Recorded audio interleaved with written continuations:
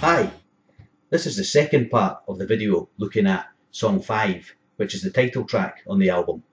And this part of the song starts off with the entity taunting me. And this is the part that I play on the album, the character of the second entity. And he's basically saying that when I'm awake, I leave him in control. And if you remember what I said earlier about these demons and entities being manifestations of irrational fears and negative thoughts, and that those are still there in the back of our mind when we're awake, controlling the way that we view the world and affecting our behaviour. So this entity was in control when I was awake, and for it to be something so terrifying in my dreams, I knew that it had to be quite a big fear lurking constantly in the back of my mind. And it gives a hint as to what it might represent when he says in the song, I am your death.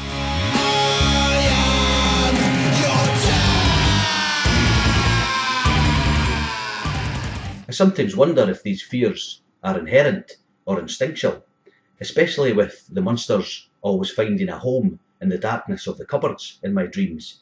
And I know that this is a common theme in kids' nightmares. And I've heard theories that these fears are passed on from our ancestors from a time long ago when there were things to fear hiding in dark caves and in dark holes in the ground, things that probably wanted to eat us and that these fears are passed to us even now, and we're born with them now that even now that they're not no longer necessary. And I guess these fears are connected with a fear of death, specifically death by hungry predator. So back to the next part of the song, and I've used dream signs to become lucid, and I've remembered my dream goal, and now I have to make my way to the house where I grew up and confront this new demon which had taken up residence in the bedroom cupboard. My first two or three attempts at this involved trying to fly there. I then tried to drive there, and in an effort to leave the task in the hands of my subconscious, I tried getting a bus there. But these methods failed, mainly due to the fact that where I then lived was several miles from the house where I grew up, and covering that type of distance in a dream amidst all of the distractions that your mind conjures up for you is a difficult task.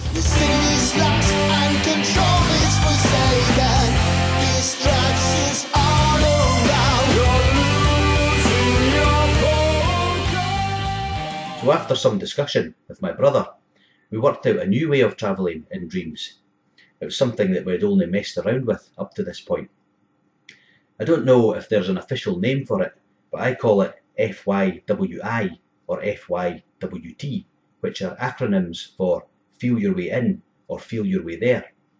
And this method involves picking the place that you want to visit in your dreams and then going there in the real world. And while you're there in the real world, you pick an object, you close your eyes, and you run your hands over that object, taking in all the details for a couple of minutes. The idea is that the next time you find yourself in a lucid dream, you close your dream eyes you then imagine yourself back there, holding on to the object, and gradually it becomes more and more real until you find yourself at the desired place.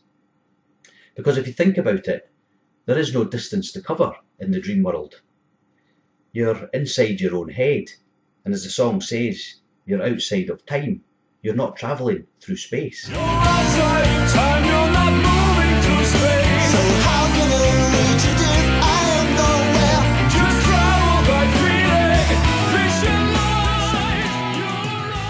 So in this case, I took a trip to the town where I grew up, and I casually strolled by the house where I used to live, stopping for a feel of the gate to the front garden. And I figured this was as close as I could get without the new occupants wondering what the hell I was doing. So I closed my eyes and I took in the detail, feeling the gate for a couple of minutes. And then the next time I found myself in a lucid dream, I closed my dream eyes and I imagined myself back there and I imagined feeling the smooth paintwork and the rough, rusty underside of the upper rails, and then feeling the cold steel of the bars, and gradually it became more and more real until I felt like I was actually there.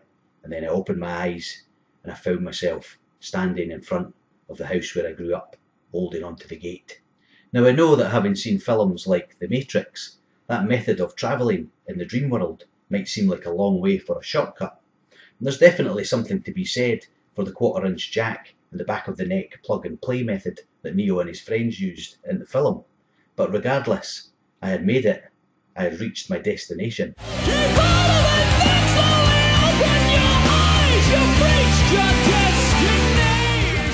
I had accessed a very specific memory deep within my subconscious mind. A memory which, of course, housed something very dark and ominous. An unknown, obscure fear that was hiding just below the surface of my awareness, lurking surreptitiously in the darkness beyond the borders of my waking mind. A place otherwise known as the bedroom cupboard.